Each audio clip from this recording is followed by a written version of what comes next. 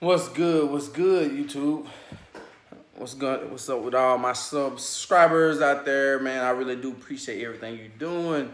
I mean, just you just don't know, just you clicking on that button, turning that post notification. That that means a lot to me. That means y'all rocking with me. That means y'all like somewhat like my content. Um, I'm gonna get back into the cars and stuff a little later on, but y'all hear something? It's, I know I ain't shading why, but hey, Ty, somebody knocking? Somebody at the door. Let me, let me double check. So, but yeah, just want to say appreciate y'all rocking with me. Yep. Let's see. Let's see.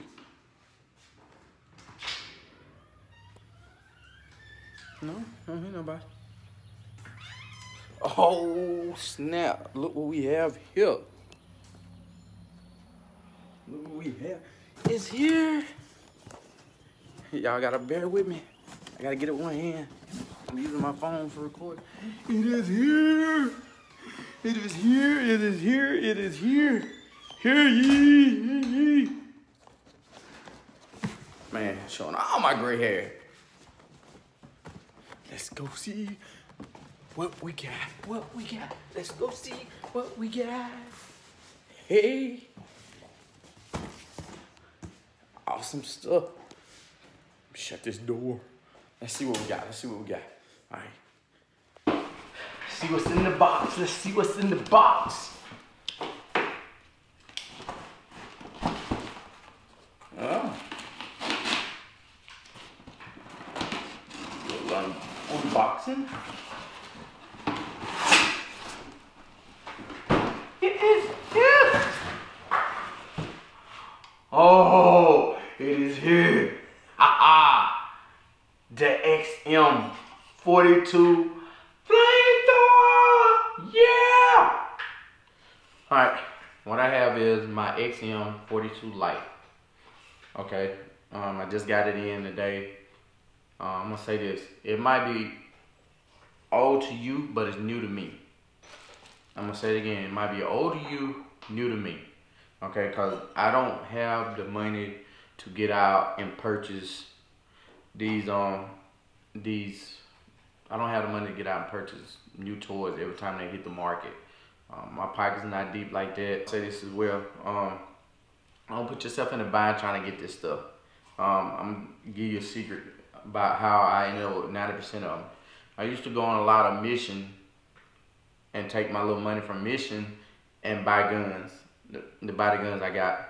I, and I don't went through tower loan and got loans to buy the expensive gun I have. I'm I'm gonna say this, rush into buying these toys. They're gonna always be there.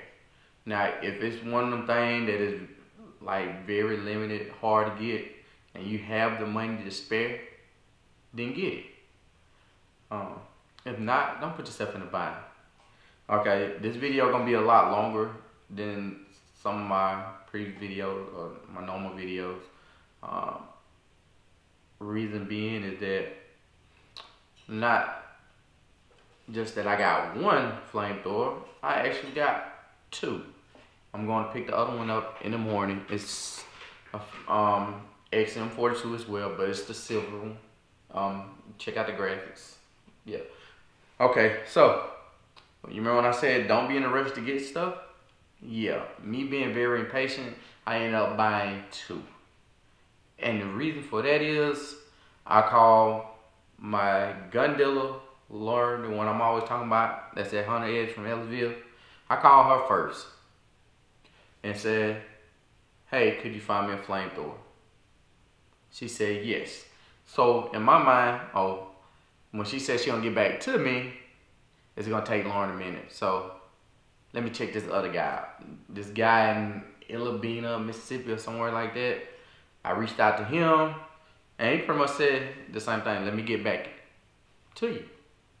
So long story short, he ended up reaching out to me and he's like, hey, I can have you one in a week you know, sign this um, agreement and pay you money.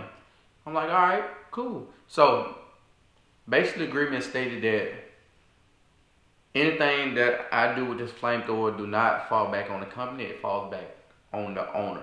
Now, back to how I ended up with two. So the guy, he said, I seen you one out. And then next thing you know, Lori hit me up like, hey, I got you on coming in. I'm like, oh, crap. Dang. But that was my fault because I was being impatient. And in order to keep good business relationship and you have people go out and order you stuff, go ahead and pay for it. I should have waited on Lauren, but I didn't. I went to this other guy and they both came through and it's crazy because both of them came today at the same time, one in one location and one came to another location. So big shouts out to both of y'all. Now this flamethrower, it's supposed to shoot out to 25 feet. Make sure you keep it in a safe direction. Um, before even trying to use this, this flamethrower, make sure the battery charged. Even though it comes between 30 to 50% already charged, once you um start charging it, don't walk away from it. Leave it. Don't leave it overnight because they highly uh, recommend that you don't leave it overnight. So keep an eye on it till it get full, um, fully charged, and then install. Make sure it's the and the way you take the battery out, you gotta take it out from the base plate, and you'll see the connectors in the inside. Um, when you get it, you will get it on your manual, so I advise you to um, read up on it. Okay, it used uh, butane, little butane bottles. It, will give you a certain size that you put on it. You want to put nothing heavy on it. You can also use uh, unleaded fuel. Uh, they advise you to put the flamethrower on flat surface while you're pouring your fuel. You want to make sure that you don't hold it up above, I think, 42 degrees. Reason being, because the fuel will leak out. Or just in case the fuel might leak out. You don't want to leak out on you, and that'd be bad for you. Okay. Um. Yeah, and we're gonna we're gonna cook some meat. Just letting you know we're gonna have a little barbecue, and we'll have a candlelight visual. Um, I was all excited by getting this flamethrower today, and a couple minutes after I got it, uh, I got worried that my cousin passed. So I'm gonna say this: when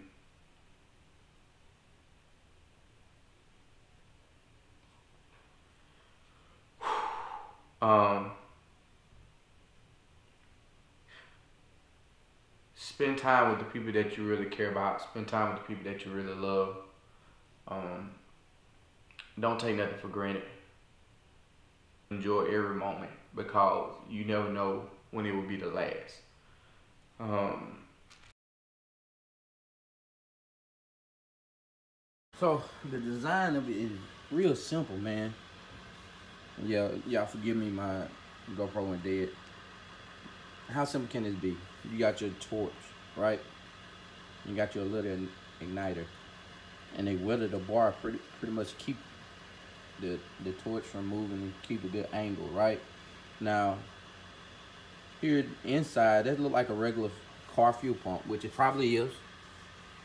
You know, which kind of it's kind of it's kind of smooth your little nozzle here. And, and anybody that deal with cars, they know how uh, car fuel pump work.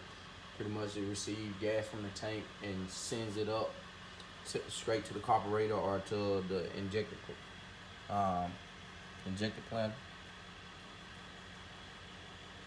So pretty much that's all it's doing. It's sucking gas from here. It's sucking and it's shooting. But they're using the torch to keep the fire lit because we already know if you wish to send gas out of here and you try to light it, it's gonna get all on your hands. It's gonna burn you up. Okay. But they use the power because it's gonna take power to run the pump. So they have the power button here, which is getting its, its juice from the battery underneath, which causes the pump to turn on. And then they're using this button here to mash the engage the pump. So once it's engaged the pump, and it's taking the power from there. It's pretty much all working together. It's, it's running the pump, shooting the gas here, and they still have the torch lit here from the butane. But so the next video, um, what we're gonna do is we're gonna compare uh, flamethrower. My homeboy actually gonna make one, which is gonna be a lot cheaper than what I paid for one. So we're gonna compare. We're gonna see the distance it shoot a flame out. We're gonna pretty much see how long it runs, which I think he gonna end up getting me because his is just running out butane. I think it's just gonna be running out butane. I'm not sure yet. But I think I will probably get him as far as the distance with the flame. I don't know yet. So y'all please stay tuned to the next video and we're gonna go from there.